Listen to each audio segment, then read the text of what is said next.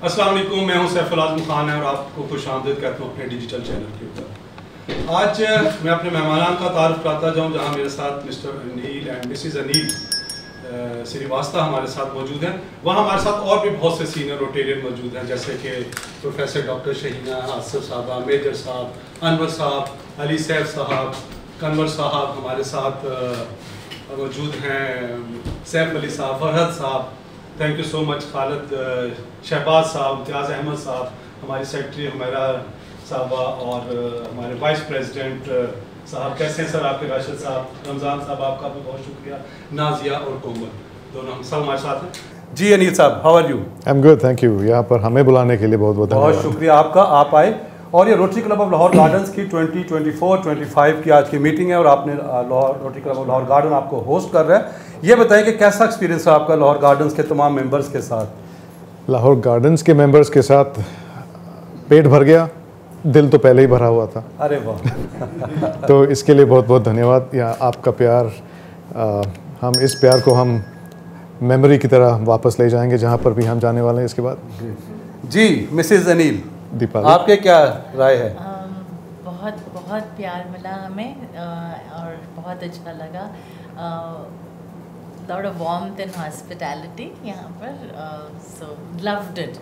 बेशक बेशक पाकिस्तान वैसे ही मोहब्बत करने वालों का और लाहौर ख़ास तौर पे हॉस्पिटैलिटी के लिए पूरी दुनिया में मशहूर है। Rotary Club of Lahore Gardens के तो फिर क्या ही कहने हैं। आज आप उनकी मीटिंग में अनिल साहब ये बताइए अपने इस विज़िट के बारे में जो आपका लाहौर का विज़िट है।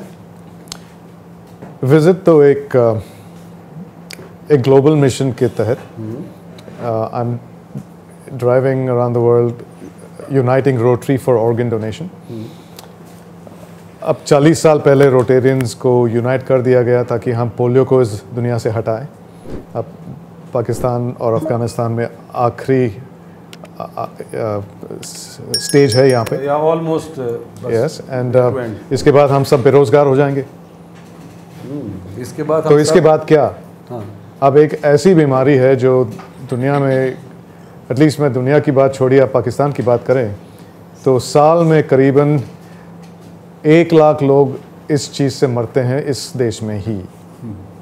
आप जैसे अभी तुलना कीजिए कि ब्रेस्ट कैंसर में चालीस हज़ार महिलाएँ मरती हैं उस रोग के साथ, पर अगर आप किडनी डिज़ीज़ का देखा जाए तो करीब फिफ्टी नाइन थाउज़ेंड लोग मरते हैं, और लिवर डिज़ीज़ को देखो तो उतना ही तो total deaths by liver and kidney Pakistan में नौ आठ परसेंट हैं कॉज ऑफ़ डेथ तो इस पर और ये सिर्फ़ पाकिस्तान है इंडिया में तो और भी सेंट्रल अमेरिका में इससे भी ज़्यादा अफ्रीका में इतना ही हो रहा है। तो अब ये एक नेशन ग्लोबल पैंडेमिक हो रहा है जो नॉन कम्युनिकेबल डिज़ीज़ से हो रहा है। It's the most deaths cause by non communicable disease तो इस पे अमन करने की ज़रूरत है इस पे ध्यान देनी है। गुड तो आप ये बताइएगा मिसिज अनी एज अ हस्बैंड आप इनके मिशन में कहाँ तक इनके शाना बशाना? तो हम इनके कॉज में पूरी तरह बिलीव करते हैं। इट इज़ वेरी फुलफिलिंग तो बहुत बहुत सेटिस्फाइंग है कि अगर हमारे इस दौरान अगर एक जान भी बच गई हम्म। तो सारी इंसानियत की जान सारी इंसानियत की जान बच गई। गुड हाँ अच्छा मिस्टर नील ये बताइएगा कि वैसे तो रोटेरियंस आपके मिशन के बारे में बहुत अच्छे सब ओवर द ग्लोब सब जानते हैं। लेकिन आज मैं चाहूँगा कि जो हमारे देखने वाले हैं, जो कि जिनका रोटरी से ताल्लुक़ नहीं भी है, उनको भी कुछ अपने मिशन के बारे में प्लीज़ आगाही दीजिए। मिशन का ऑब्जेक्टिव यह है कि no one must die waiting for an organ so इसको हिंदी में अनुवाद करें तो ऑर्गन ना मिलने के कारण, अंग ना मिलने के कारण किसी की मौत नहीं होनी चाहिए। और ये मुमकिन है क्योंकि साइंस रेडी है मेडिसिन रेडी है इलाज रेडी है बीमारी तो हमारे समाज में है। और इस समाज की बीमारी को हटाने के लिए मैं ये मुहिम शुरू किया था और निकल पड़ा था अकेले। हम्म। लोग जुड़ते गए कारवां बढ़ता गया तो आप लोग इस कारवां में शामिल हो गए। और ये समाज की क्या बीमारी है कि हम आगे नहीं आते अपनों को ही बचाने अंगदान के विषय में। अगर मैंने अपने अपना किडनी अपने भाई को नहीं दिया होता तो उनका क्या हशर होता? हर फैमिली में एक डोनर है, हर फैमिली में। पर हर रेसिपिएंट को डोनर नहीं मिलता है। तो मैं आपके नॉन रोटेरियंस रोटेरियंस से भी यही कहना, दरख्वास्त करना चाहता हूँ कि आप अपने डर को हटाएँ और इसमें हम आपकी मदद करेंगे क्योंकि डर पैदा होता है एक सवाल ना मिलने का जवाब नहीं मिलने का एक सवाल का। तो अगर आपके सवालों का जवाब हम देने लगे तो ये डर भी मिट जाएगी क्योंकि नॉलेज इज़ पावर ये बताइएगा अनिल साहब कि आपने किस एज में किडनी डोनेट की थी अपने भाई को? सो आपकी क्या एज थी? 46 46 मिसेज अनिल बताइए जब इन्होंने फैसला किया भाई को डोनेशन करने डोनेट करने के किडनी तो उस वक्त आपके क्या तासरात से बींग बेटर हाफ़ बहुत बहुत डरी हुई थी मैं बिकॉज़ बच्चे छोटे थे। अम, बच्चों के लिए डरी हुई थी सबसे ज़्यादा और ये था कि इनको खुदा ना करे कुछ हो गया तो यू नो क्या होगा? एंड सबसे ज़्यादा हमको ये डर था कि आई हैड टू साइन हमको साइन करना था इनको परमिशन देने के लिए। Um, तो आई डेंट वांट अगर उनको कुछ हो गया गॉड forbid तो हमको हम यू नो हमारे पे it would have been on my conscience so वो नहीं चाहते थे हम। तो अब आपकी क्या फीलिंग्स हैं इसके बाद? अब I am very very happy he did what he did and his life and my life बिल्कुल बदल गया है। um, इस uh, मुहिम में हम जुड़े हुए हैं एंड बिल्कुल बदल गया because we do see change happening in small ways but it has अच्छा मिस्टर नील ये बताइएगा आप थ्रू आउट द वर्ल्ड अपने आप टूर्स करते हैं आप थ्री सिक्सटी फाइव डेज़ आपकी मूवमेंट रहती है। कुछ उसमें होता है आपको कहाँ ज़्यादा दिक्कत आती है? कोई ऐसी कंट्री कोई ऐसी जगह जहाँ आपको दिक्कत आई हो? दिक्कत वैसे नहीं आती है। एक दिक्कत है फाइनेंशियल प्रेशर की because this this is not inexpensive to do but if you अगर सारा पैसा जोड़ के आप देख लें और कितनी ज़िंदगियाँ बच रही हैं तो if you divided by the number of lives it's negligible the the of of you know people pay millions just to save one life. और यहाँ पे कुछ thousands में जाने बच रही हैं। पर वो एक तरह that's one difficulty. Fundraising becomes an issue. But of course हम लोग अपने आप को जोखिम में भी डाल रहे हैं। ऐसी जगह जाते हैं जहाँ पर हमको पता नहीं कौन है वहाँ पर कौन नहीं है।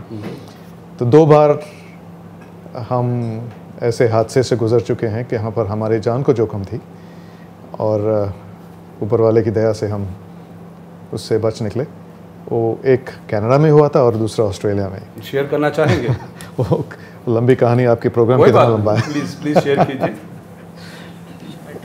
शॉर्ट वर्जन ये है कि सुनसान जगह भी होते हैं जहाँ पर नेटवर्क नहीं होता और पेट्रोल बंक्स भी 400-500 किलोमीटर की दूरी में होते हैं और बीच में ना नेटवर्क ना पुलिस ना आबादी ना कुछ। तो ऐसे जगहों में लोगों को पता है कि उस रास्ते से जाना ही है, अगर यहाँ से वहाँ तक जाना हो तो हम भी वहीं थे अलास्का हाईवे में। और ये भी थी कि दो महीने पहले, जब हम गए थे, उसके दो महीने पहले, उसी इलाके में पाँच ट्रैवलर्स की हत्या हुई थी रैंडमली बाय साइकोस जो मेंटली डिरेंज थे। तो उसके बाद कॉपी कैट्स भी होने लगे। उनको तो मार दिया गया। पर कॉपी कैट आने लगा और एक ऐसा हमारा पीछा पड़ गया। और बस एक चीज़ थी कि हमारी गाड़ी में एक एक्स्ट्रा पेट्रोल टैंक थी। अगर वो नहीं होता तो ना जाने हमारा क्या हाल होता।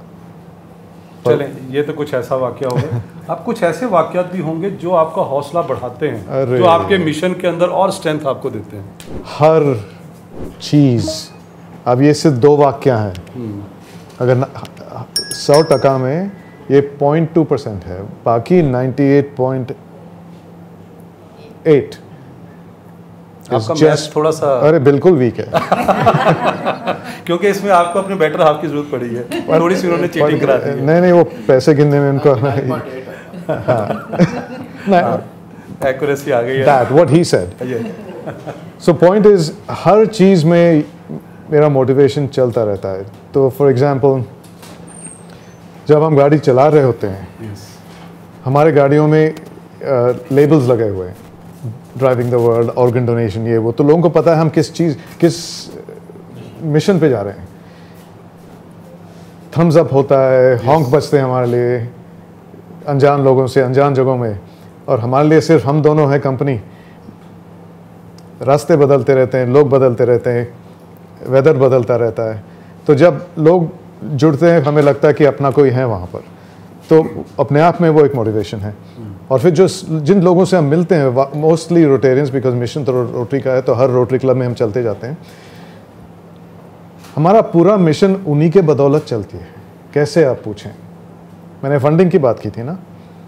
तो जब मैं, आप जैसे, आप लोगों में अभी मिल रहा हूँ। अब अगर मेरी गाड़ी साथ में होता तो मेरे पास मेरा हुंडी भी होता, जो मनी बॉक्स कहते हैं आप। और यहाँ लगा हुआ होता। टॉक के बाद मैं हाथ जोड़ के बोलता हूँ प्लीज़ इसमें जितना डाल सको, डाल सके। उससे मैं पेट्रोल लेता हूँ। उस पेट्रोल को लेकर हम दूसरे मीटिंग तक जाते हैं। तो हर मीटिंग एक प्रीवियस क्लब के बदौलत ही हुआ है। तो आप सोचिए कि इस मिशन में लग तो रहे हम दो ही लोग हैं। पर हमारे पीछे कितनों ने इसकी सहायता की? अनगिनत है। So this is become a true Rotary mission ये अनिल वाला मिशन नहीं है। तो इससे मोटिवेशन तो होता ही है क्योंकि लोग हम पर विश्वास करके ये करते हैं।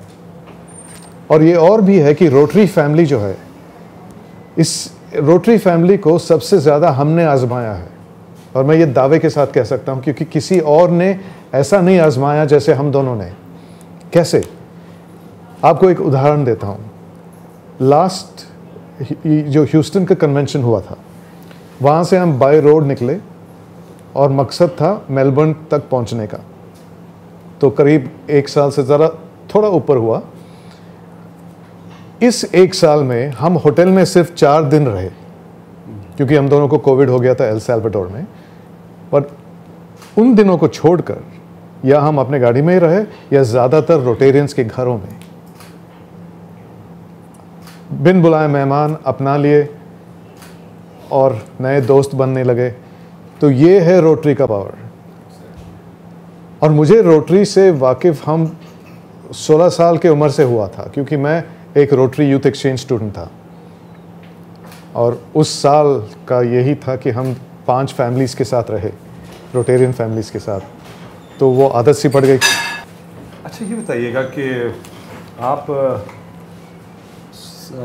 सोलह साल की उम्र से आप रहे रोटरी रोटरी के साथ हैं।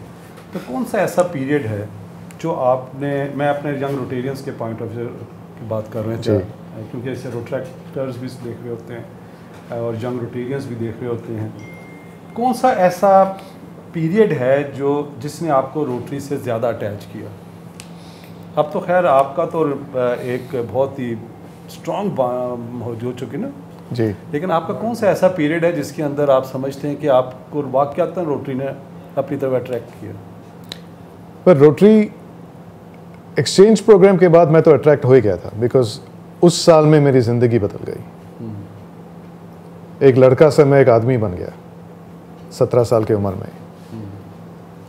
तो फिर मेरी माँ भी रोटेरियन थी। अच्छा। My great grandfather was a Rotarian तो रोटरी तो वैसे बड़े होते होते इर्द गिर्द मैं रोटरी का नाम सुनते गया। पर मैं रोटेरियन फिर से कब बना? मैं पहली बार रोटेरियन तब बना 2002 में when I chartered my first club 20 दोस्तों को। The first all Indian member club in America Rotary Club of Plainsboro and West Windsor in New Jersey अभी भी वो क्लब एक्टिव हैं तो 22 साल हो गया उस क्लब को तो मैं पीछे देखता हूँ तो गुड क्लब टू स्टार्ट बाईस साल में कितना उन्होंने ह्यूमैनिटी के लिए किया होगा, बस नेकी कर और दरिया में डाल। तो मैंने ये, रोटरी का वहीं पे आई आई अंडरस्टूड कि इसमें क्या हो सकता है what is the potential of Rotary as long as we don't care who gets the credit we can achieve the impossible very good मैं चाहूँगा कि अब हमारे जो दीगर इसमें पार्टिसिपेंट्स हैं कोई क्वेश्चन आंसर हो तो हम उसके ऊपर आएँ और अनिल भी हमारे साथ हैं और उनकी बेटर हाफ़ भी हमारे साथ हैं। तो house is open for everyone please मैंने आपसे सवाल पूछना है और मेरा सवाल ये है और इसका रीज़न इसको पूछने का ये है कि हम लोगों को मोटिवेट कर सकें कि अगर उनकी किसी फैमिली मेंबर को एक ऑर्गन चाहिए तो वो बेखतर उसको दे सकें। सो so, आपने अपना किडनी जो है अपने भाई को डोनेट किया। सो so, क्या आपकी ज़िंदगी में कोई नेगेटिव इफ़ेक्ट्स इसकी वजह से आए? या आपको कोई तकलीफ़ उठानी पड़ी? या आप समझते हैं सवाए उस ऑपरेशन के जो आपने करवाया उसकी दर्द के अलावा कोई आपको तकलीफ़ रहती है? अच्छा सवाल है। सीधा पॉइंट पे आए आप। तो मैं, मेरा ये जो मिशन है और गाड़ी चलाने का मिशन जो है, यही दिखाना है कि एक किडनी के साथ मेरी ज़िंदगी को जो मन चाहे एडवेंचर मैं कर सकता हूँ। आप कह रहे हो कि गाड़ी में सीट में बैठ के गाड़ी चलाना, अरे अब तो बैठे ही हो, कितना मुश्किल हो सकता है? तो अब आप रोज़ आठ घंटे चलाएँ मिनिमम कभी कभार पंद्रह घंटे, रोज़। तब पता चलता है कि पीठ में कितना दबाव पड़ता है सयाटिका नर्व्स पे कितना दबाव पड़ता है। तो मेडिकली मुझे फिट रहना पड़ता है। तो चलिए उस बात को रहे। अब एक चीज़ है जो वर्ल्ड ट्रांसप्लांट गेम्स के नाम से है। ओलंपिक जैसा है स्पेशल ओलंपिक्स तो इंडियन इंटरनेशनल ओलंपिक एसोसिएशन एक और रचाती है, जिसको वर्ल्ड ट्रांसप्लांट गेम्स कहते हैं। जहाँ पर 60 कंट्रीज़ की पार्टिसिपेशन होती है, तीन हज़ार एथलीट आते हैं जिनके, जिन्होंने आदर किडनी या लिवर या हार्ट या लंग्स ली हो या दी हो। रेसिपियंट्स एंड डोनर्स और यहाँ पे ट्रैक एंड फ़ील्ड स्पोर्ट्स जो ओलंपिक्स के हर इवेंट्स का जो होता है, इसमें भी वही होता है। ये दिखाने के लिए दुनिया को कि इसके बावजूद एक हेल्थी ज़िंदगी हम जी पाते हैं। तो मैं टीम इंडिया के लिए एक एथलीट हूँ। हम अभी करीब 50 एथलीट्स हैं और मैं 100 मीटर्स स्प्रिंट दौड़ता हूँ। ये मेरी इवेंट है और मेरी लास्ट टाइमिंग थी 13.6 सेकेंड्स और मेरी उम्र 57 की है। तो I am a better athlete today than when I was in my 20s जो 20 साल की उम्र से ज़्यादा मैं अभी एथलीट हूँ। और मैं इस प्रतियोगिता में वर्ल्ड रिकॉर्ड होल्डर हूँ। क्रिकेट बॉल थ्रो में और ओपन कैटेगरी में मेरे एज ग्रुप में ही नहीं ओपन कैटेगरी में ये क्रिकेटिंग आर्म अब भी कायम है और this happens in spite of my kidney जब से मैं किडनी दिया हूँ एक uh, नशा सा छा गया मेरे में। ऐसा नशा जहाँ पर एक तो सोच के कि हमने किसी के लिए कुछ किया जो सेल्फलेस था और जो सेल्फलेसनेस जो है it makes me feel like मेरा ज़िंदगी का एक मकसद पूरा हुआ है। और उसके बाद जो भी मैं चाह रहा हूँ, जो भी मैं सोचता हूँ, बिना कुछ संकट का वो होते रहता है। जो भी मैं मैनिफेस्ट करता हूँ, जो पहले नहीं हुआ करता था। अगर मैं चाहूँ तो मुझे यहाँ जाना है, मुझे इन लोगों से मिलना है। कहीं ना कहीं से वो हो जाता है। तो ये जो पॉजिटिविटी है, और जिस पॉजिटिविटी से मेरे भाई और मैंने इसको कबूल किया, उन्होंने कबूल किया और मैंने उनको दिया, उसी पॉजिटिविटी को लेकर हम आज भी, क्योंकि साइंस हर चीज़ को एक्सप्लेन नहीं कर पाती। स्पिरिचुअलिटी उससे आगे है। तो आज भी मैं अपने किडनी के साथ बात करता हूँ जब भी मैं मिलता हूँ मेरे किडनी से जो मेरे भाई के अंदर। है कि भाई ठीक ठाक है जिस काम के लिए भेजा था आप करते जाना। उसमें असर पड़े ना पड़े पर मेरे जहन में एक ऐसी ग्लो तो दिखता नहीं होगा पर एक ऐसा ग्लो फील होता है कि आ, मुझे मेरी ज़िंदगी का मकसद मिल गया है और जिसको अपना ज़िंदगी का मकसद मिल जाता है ना वो ही जानता है कि ये फीलिंग क्या है। बहुत खूब। बिल्कुल ऐसे ही बिल्कुल ऐसे ही जी इम्तियाज़ अहमद साहब। जी, अनिल साहब, आपकी बातें बड़ी मोटिवेशनल हैं और उसमें बहुत सारी चीज़ें जो है वो नहीं हमें पता चल रही हैं। तो आप ये फरमाइए कि आप माशाल्लाह आपकी मिसेस जिस तरह से मुस्कुराती हैं और मुस्कुरा के हर बात का जवाब देती हैं तो इन्होंने जब आपने इनसे कंसेंट साइन करवानी करवाई होगी तो तब भी इनकार इन्होंने पहली दफ़ा तो मुस्करा के किया होगा। फिर बाद में मुस्करा के ही इन्होंने कंसेंट भी दे दी। तो आप मुझे ये बताइए मेरा सवाल ये है कि किडनी जब आपके भाई साहब को ये प्रॉब्लम हुई तो आपने पहले से तो फैसला नहीं किया होगा कि, कि इनकी ख़राब होगी किडनी और मैंने इनको किडनी डोनेट करनी है? It was a crisis at that time it would have been a crisis तो आपको ये किस तरह से मोटिवेशन हुई और किसी ने काउंसलिंग की आपकी कि, भी आप अगर किडनी दे देंगे तो एक किडनी पे भी रेस्ट ऑफ़ दी लाइफ गुजारी जा सकती है?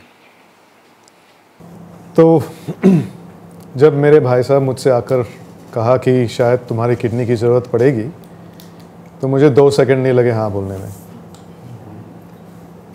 इसमें कोई काउंसलिंग की ज़रूरत नहीं पड़ी ना किसी की मोटिवेशन बिकॉज़ प्यार एक ऐसी चीज़ है जिसको सिर्फ़ प्यार के बारे में बात नहीं करनी होती है निभानी पड़ती है।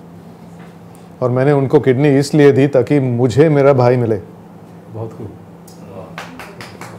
Not the other way Ram कि उसे ज़िंदगी मिले। ये स्वार्थ था मेरा। और रही बात इनकी मुस्कुराहट से मुस्कुराहट तक बीच में जितनी संघर्षें हुई वो हम दोनों ही जाने। इस हद तक कि हम तलाक के बारे में भी बात करने लगे। बट लकीली हमारे बच्चे इंटरवीन कर गए और इनको मना लिया। और अगर बच्चे नहीं होते तो मेरा संघर्ष जारी रहता इस हद तक कि हम हम छोड़ने के लिए भी तैयार थे, क्योंकि कानूनी तौर से इनकी सिग्नेचर की ज़रूरत थी, क्योंकि वो मेरी बीवी थी। जिस, ना रहेगी बाँस, ना बजेगी बांसुरी, ना बीवी रहेगी, ना उनको साइन करना। तो ये भी कहा कि उसके बाद हम वापस शादी कर लेंगे, इस काम होने के बाद। पर लकीली वहाँ तक नहीं गया। बट ये जो है मोटिवेशन काउंसलिंग सब प्रोसेस के हिसाब से होता था। जब मैंने हाँ करी तो डॉक्टर्स का काउंसलिंग जो प्रोसेस है इंडिया के जो रूल्स के हिसाब से हमारी काउंसलिंग होनी थी, इनका अलग, हमारा अलग, साथ में नहीं होना था। उन्होंने मुझे दस बहाने दिए इससे निकलने की। क्योंकि डॉक्टरों का भी सही है, क्योंकि लॉट्स ऑफ़ पीपल प्रेशर में आके देते हैं फैमिली प्रेशर देना नहीं चाह रहे पर हमारी समाज में जो जॉइंट फैमिली सिस्टम्स है, जो बड़े बुज़ुर्ग हैं, जो प्रेशर डालते हैं, जो औरतें हैं उस उस घर में तो डॉक्टर्स उनको एक रास्ता देते हैं निकलने की, एक सही रास्ता। वो रास्ता मुझे भी मिला। तो लोग इस रास्तों को अपनाते हैं क्योंकि वो डरते हैं। अगर उनको पता होता कि इससे कुछ नहीं होना उनका तो बेझिझक, जो प्यार करता हो वो बेझिझक दे। तो मैं इसलिए मैं कह रहा हूँ, अगर ये डर हम उस समय से पहले हटा दें, जब किसी के ज़िंदगी में वो टाइम आएगा गॉड फॉरबिड कि उनको ये निर्णय लेना हो तो वो बेझिझक जैसे मैंने दी। तो बस ये हकीकत ऐसे ही हुआ। जी, शुक्रिया अनिल साहब। दूसरा सवाल मेरा और आखिरी सवाल यही है कि किडनी डोनेट करने के बाद आपने कभी ये सोचा था कि क्या आप इस तरह से एम्बेसडर बनेंगे और इस तरह से आप इस इस काम को लेके आगे चलेंगे? बिल्कुल ही नहीं। बिल्कुल ही नहीं। अब ये हुआ कि जब मैं रिकवरी में था, मेरा एक दोस्त आया, एक दोस्त। हम समझ रहे कि हमारे बहुत दोस्त हैं, पर घर मुझे देखने एक ही आया था। और वो भी एक नया दोस्त। पुराने तो आए नहीं। तो ये दोस्त ने कहा कि जल्दी ठीक हो जाने क्योंकि हम प्लान बना रहे हैं कि गाड़ी में यहाँ से लंदन जाएँगे। तब तक मेरे ख्याल में भी नहीं था कि ये चीज़ मुमकिन है कि लोग ऐसा भी गाड़ी चलाते हैं देश देश को पार करके। तो फिर मैं सोचने लगा, इन्होंने कीड़ा डाल दी मेरे जहन में। तो सोच सोच के मैं रिसर्च करने लगा रहे यार, ये तो मुमकिन है मुमकिन है मुमकिन है। तो मैंने तय कर लिया इनके साथ कि चलो जब हम ठीक हो जाएँगे तो हम ये काम करेंगे कि यहाँ से लंदन जाएँगे। पर ऐसा हो गया कि जब मैं किडनी देने से पहले भी मैं मैराथन दौड़ता था, और जब मैं मैराथन दौड़ता था, सिर्फ़ ऐसे ही नहीं दौड़ता था। किसी कॉज के लिए दौड़ता था। किसी की भलाई हो, इतना जब मेहनत कर रहा हूँ, किसी का भला तो हो।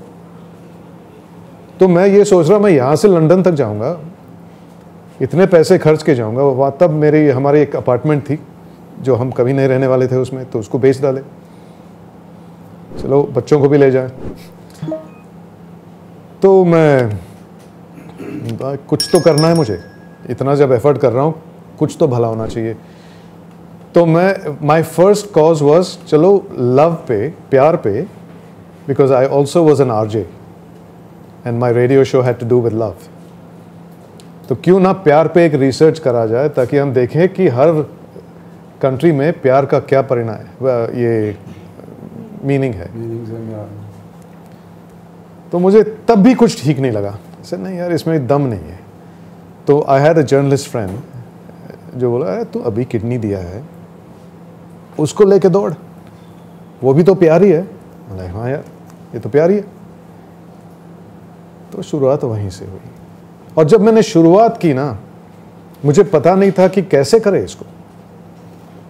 गाड़ी तो सच गई।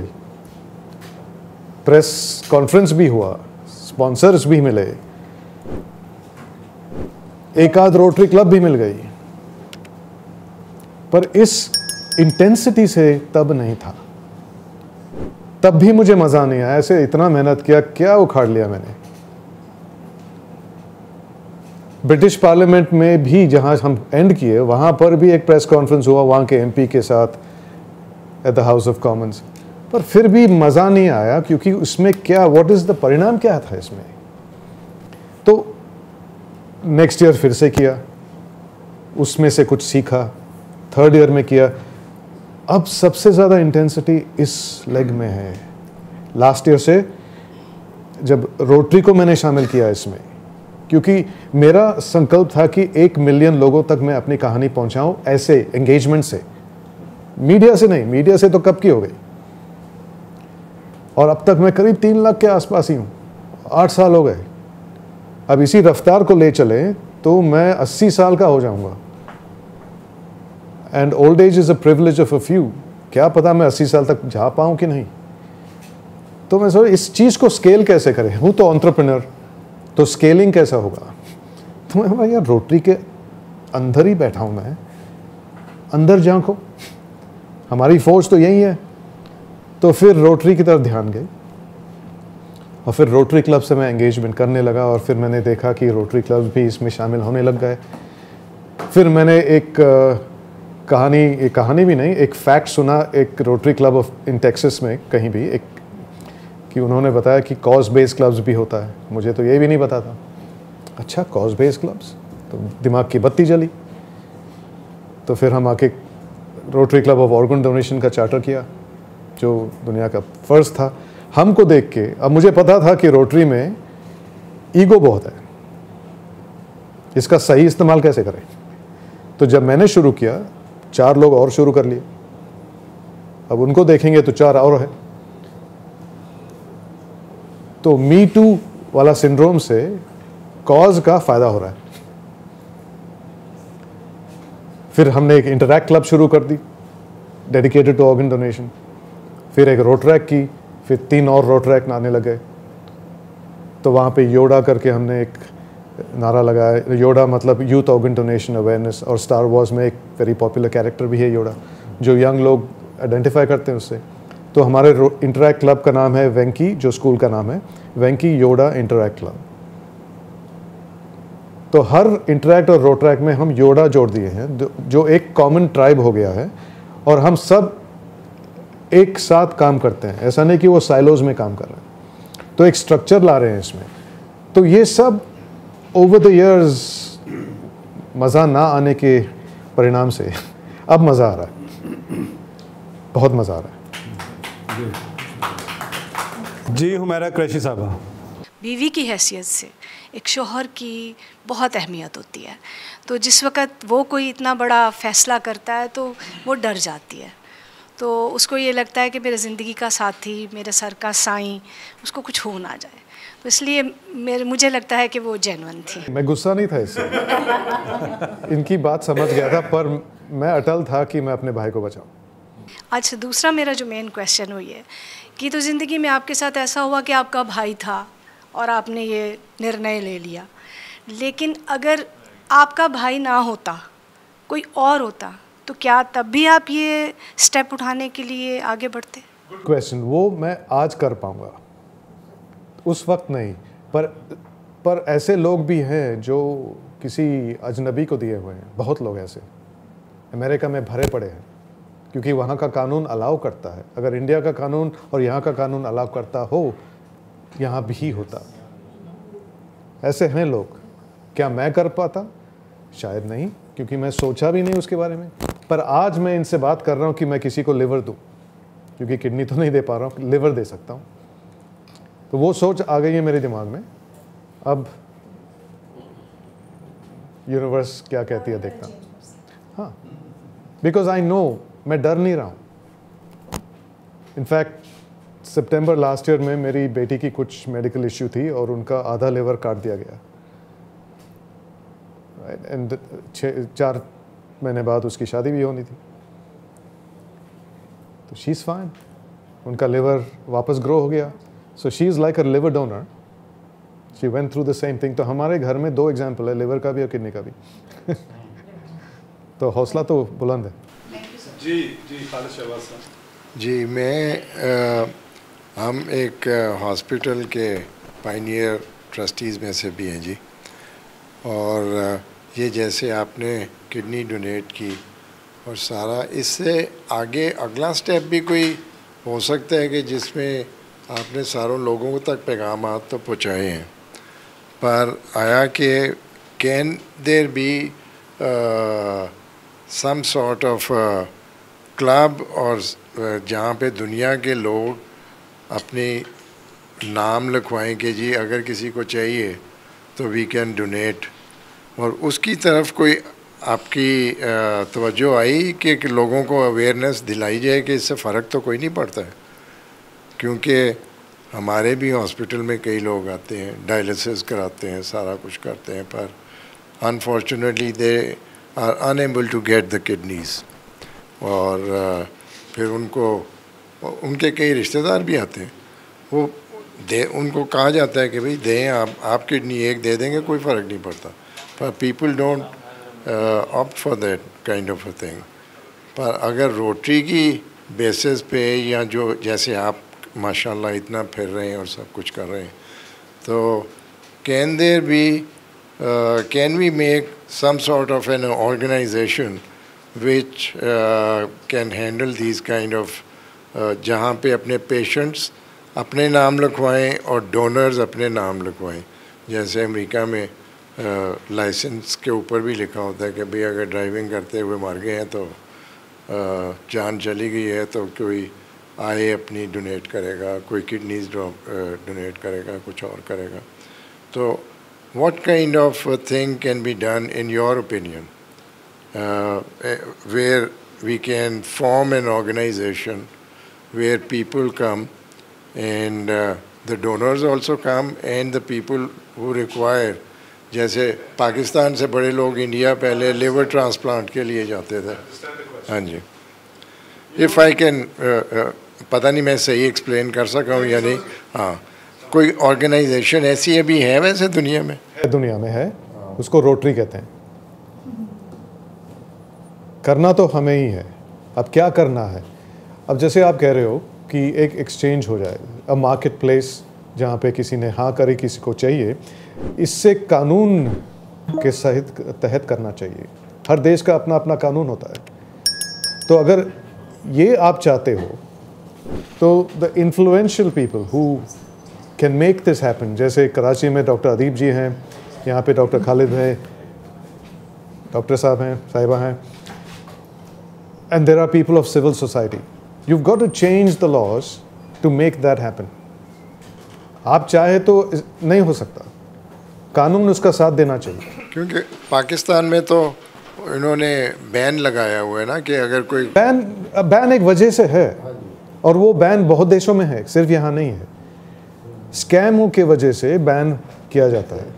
नहीं पर प्रॉब्लम यह है कि स्कैम को रोकने के लिए जो 10 परसेंट से ज़्यादा नहीं है 90 परसेंट को झेलना पड़ता है तो जिस दिन वो 90 परसेंट पर फोकस करें, कानून भी और समाज भी, फिर ये 10 परसेंट भी कम हो जाएँगे। ये स्कैम होते क्यों हैं? एक तो let me break this down for you it's a social issue okay it's not really a legal issue ये स्कैम होते क्यों हैं? लोग अपने ज़िंदगी प्यारी है, लोगों को। और ये हमारा इंस्टिंक्ट है फाइट और फ़्लाइट जिस दिन हमें पता चलेगा कि इसके खून करने से मैं जीऊँगा, वो खून करने पे तुल जाएगा। It's a instinct to survive but now if families because her family में डोनर्स हैं, जो आप बोल रहे हैं ना डायलिसिस अगर उन डायलिसिस फैमिलीज़ को बात बोलने की नहीं है, बोलने का तरीका है आप कहेंगे तो नहीं सुनेंगे। हम जैसे कहेंगे उनको कि मैं दे चुका हूँ, उनको हौसला हमसे आएगा। और हम जैसे बहुत लोग हैं पाकिस्तान में, उनको सामने करें। Specially I would like to thanks mister Anil and missus Anil to came here in the garden one we are in the garden my question I forgot it the reason is that I got the chance after thirty five minutes I raise my hand before thirty five minutes You know, the process is changed now. Now I'm thinking something else to ask you the question. What force you have it at the age of 45 years and you donated you donate you donate the kidney ठीक उससे पहले आप क्या कर रहे थे उससे पहले की लाइफ और उसके बाद की लाइफ में कितना फ़र्क है पहले आप पैसे के लिए काम कर रहे थे। अब आप अब भी नहीं अब तो ह्यूमैनिटी के लिए कर रहे हैं ना। अब तो ह्यूमैनिटी के लिए कर रहे हैं ना। पैसा इकट्ठा करके कहीं लगा रहे हैं। किसी और के लिए कर रहे हैं। पहले तो अपने लिए कर रहे थे। जो अपने लिए कर रहे थे वो क्या कर रहे थे? मैं बीवी के लिए काम कर रहा था। घर दोनों। मेरा मैं भी इसी पेशे से हूँ मीडिया और एंटरटेनमेंट में। और I run run a company जो अभी रन करता हूँ गाड़ी से करता हूँ वर्क फ्रॉम होम चलता है। एंड uh, बच्चों को पढ़ा कर रहा था। फिट था तभी अब भी फिट ही हूँ। मेरी ज़िंदगी में तब्दीली ऐसा कुछ नहीं हुआ। एक्सेप्ट कि आज मैं दूसरों के लिए कुछ काम कर रहा हूँ। अपन और एक्चुअली अपने लिए भी कर रहा हूँ क्योंकि उससे मुझे खुशी मिलती है। और बच्चे बड़े हो गए तो वो रिस्पॉन्सिबिलिटी ख़त्म। अब बस हम दोनों इसी पे लगे हुए हैं। और I told you I am fitter today than I was before I gave my kidney तो ऐसा कुछ फ़र्क नहीं पड़ा। I still run my companies I still have a business that it's a startup and so you know I have though struggles but it means nothing to me now though struggles वो तो चलता रहेगा। Every time I get a counsel uh, to counsel a patient, and I counsel a patient almost every day. इसको देखकर लोग हमें phone करते हैं या हम फेसबुक से संपर्क करते हैं। And when I am able to save two lives that gives me the strength अस्सलाम वालेकुम जी मेरा नाम फ़रत अब्बास है और मैं Rotary Club of Lahore Gardens में हूँ। आपसे मैं ये पूछना चाह रहा था यू नो वेरी ब्रीफली मेरा सवाल इतना ज़्यादा लंबा नहीं होगा।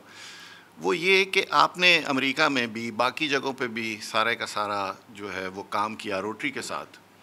तो पाकिस्तान और इंडिया मिलते जुलते मुल्क हैं। एक जैसा कल्चर है, एक जैसे खाने हैं, एक जैसे लोग हैं, रंग हमारा एक जैसा है।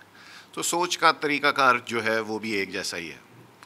सो so, मैं स्पेसिफ़िकली जो है वो आपसे ये पूछना चाह रहा हूँ कि किस तरीके के साथ आपने एक पॉलिटिकल सारा सिस्टम जो है जो कि चल रहा है जो कि हमारे क्लब्स के अंदर भी जो है प्रेवलेंट है उसको चेंज करके और ओपिनियन ओरिएंटेड और इस साइड की चीज़ों के ऊपर किस तरह से फोकस किया जा सकता है उसको कर्व करने के लिए क्या किया जा सकता है?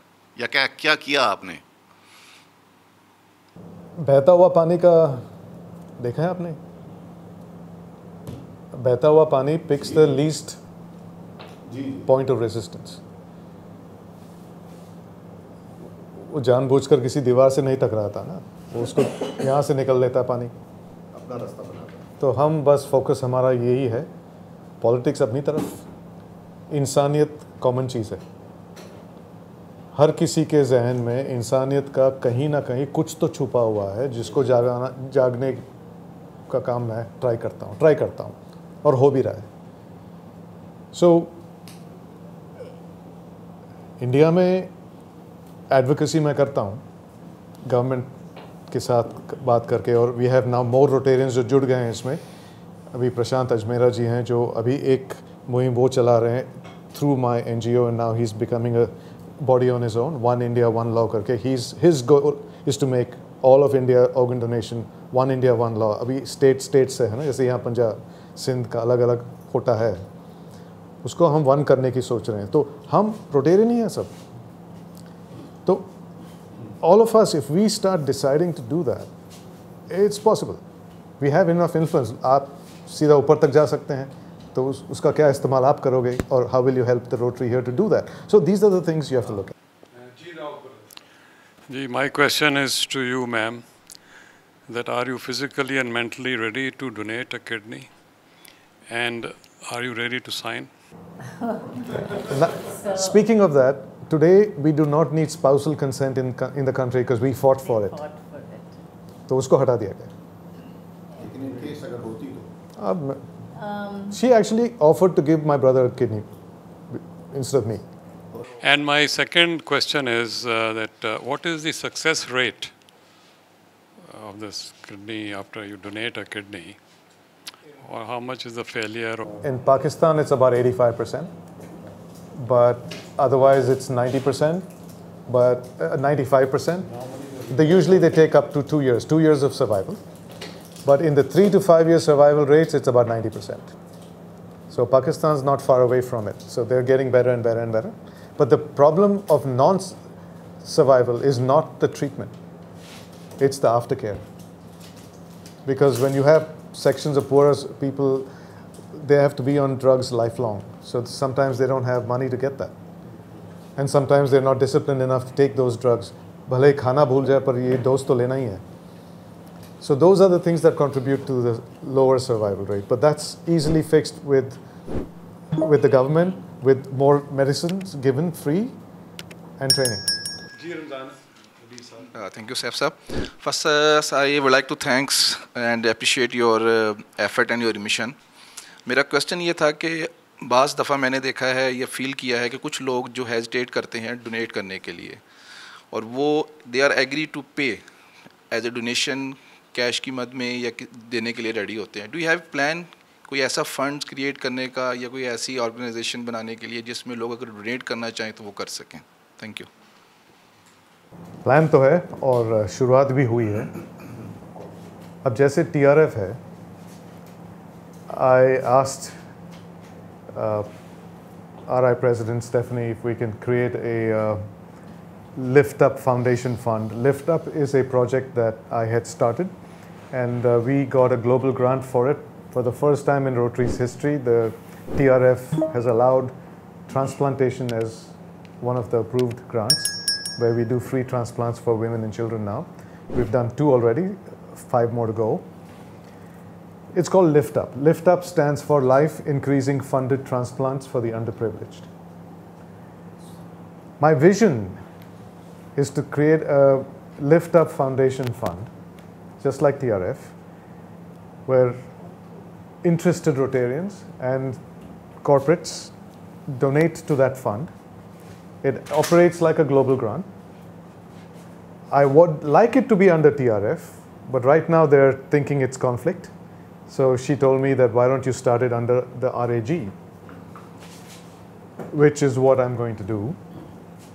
And I have a goal, and in fact, the first donation to that fund, even before that fund is created, because I have a non-profit organization in the US and in India, so I can take funds either in US or India for now to park it over there. Uh, it's tax exempt. I want to go to Calgary and present to leadership over there saying, here's the Lift Up Foundation Fund and it has $100,000 in it. That's my goal. What is the use of those 100. And the first donation has come from the Rotary Club of Lahore this morning. They pledged uh, over 1 lakh into that fund. And this is how that fund is going to be structured. This is more uh, mota moti.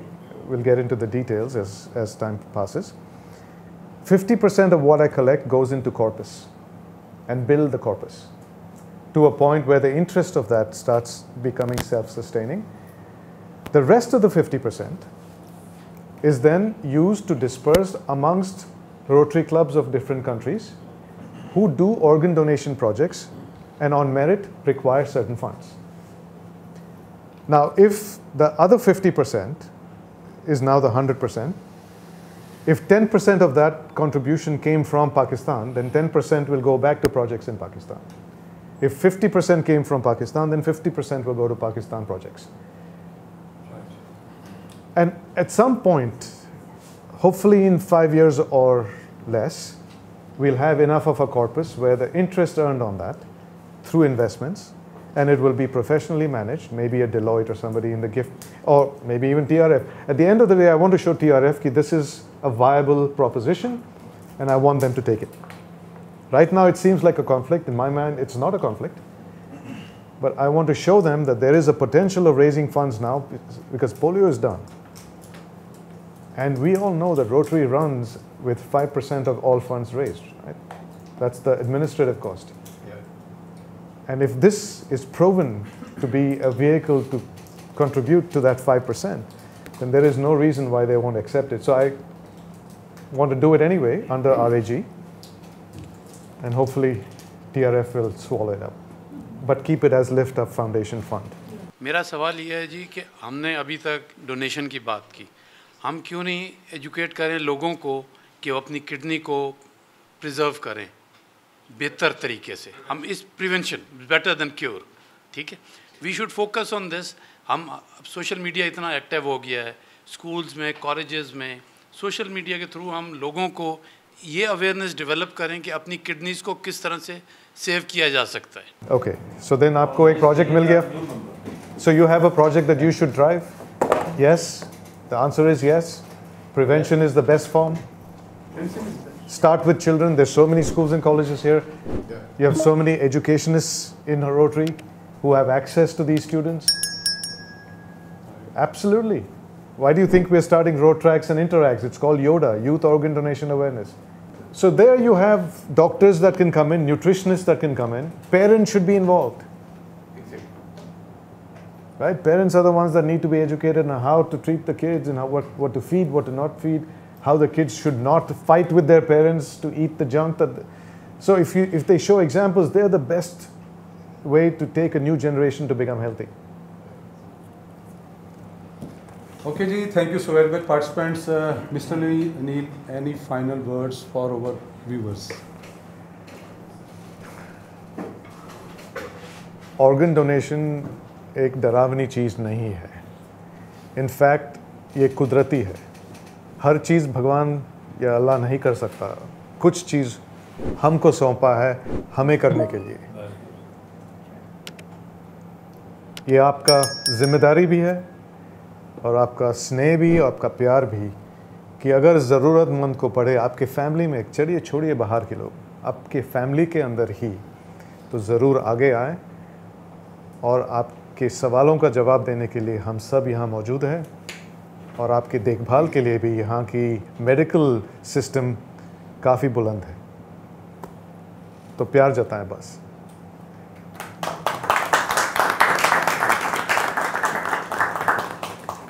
बहुत शुक्रिया बहुत शुक्रिया, mister Anil and missus Anil all the participants इसके साथ ही रोटी speaks with Saiful Azam Khan से हम आपसे इजाज़त चाहेंगे, लेकिन इजाज़त लेने से पहले Rotary Club of Lahore Gardens के मेंबर्स की तरफ़ से मिस्टर अनिल आपके इस मिशन के लिए मेंबर्स ने अनाउंस किया हंड्रेड थाउज़ेंड की डोनेशन तो काइंडली इसको एक्सेप्ट कीजिए।